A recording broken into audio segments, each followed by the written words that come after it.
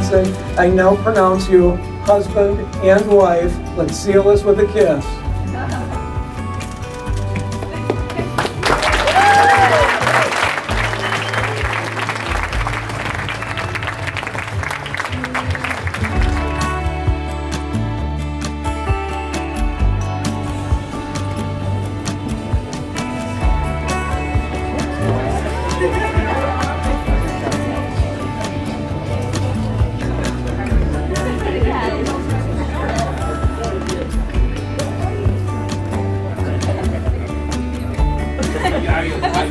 Right.